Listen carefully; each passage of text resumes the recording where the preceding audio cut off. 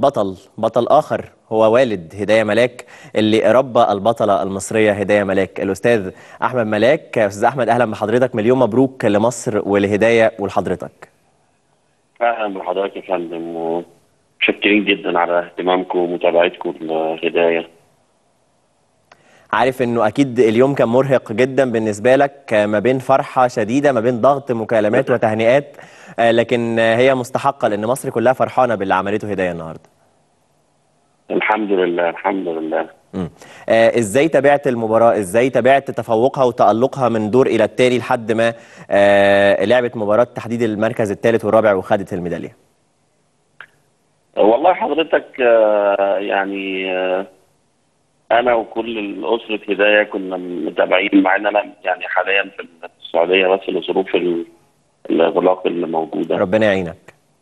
ربنا يبارك فيك. آه، بس تابعت الحمد لله من من من أول ماتش آه، مع هدايه كان كان تحدي كبير بالنسبة لها لأن برضه هي لعبت آه، بطلة فرنسا و وكان آه، الموضوع شوية فيه تحدي أكبر لأن آه، آه، مدرب منتخب آه، فرنسا آه، كان فعليا هو مدرب هدايه في ريو دي يعني.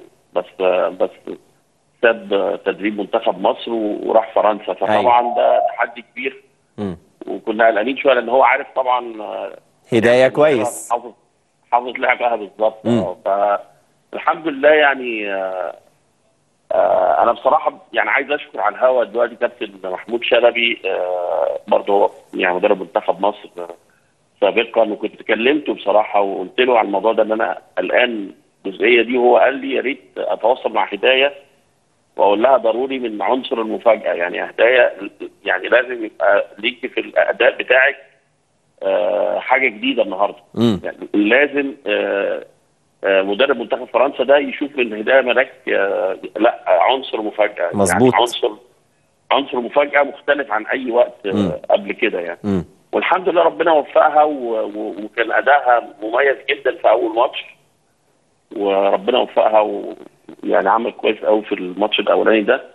آه تاني تاني ماتش مع بطلة بريطانيا آه سبحان الله يعني كنا حاسين إن في بعض النقاط لأن طبعا هي هي خسرت من بطلة بريطانيا بفرق آه نقطة واحدة مظبوط في ربع ف... النهائي آه ف... مم. ف... يعني الحمد لله ربنا بقى اكرمها بعدها ب... حتى بالترضية. آه... آه... آه...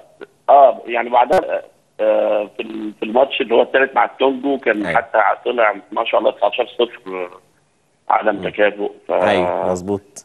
يعني حتى حتى ساعتها أنا شفت الناس وهي بتتابع المباراة بتقول وفري النقط دي يا هداية للماتش اللي جاي أهم كفاية ما شاء الله عدم تكافؤ. لا عايزين اللي جاي أهم لكن ما شاء الله فرحتنا في ده وفرحتنا في اللي بعده في مباراة البرونزية. الحمد لله الحمد لله والله. ببارك لك ببارك لك لحضرتك ومبروك مرة تانية ليك ولكل الأسرة والهداية وإلى مزيد من النجاحات بإذن الله. أستاذ أحمد شكرا لحضرتك. وترجع مصر بالسلامة إن شاء الله.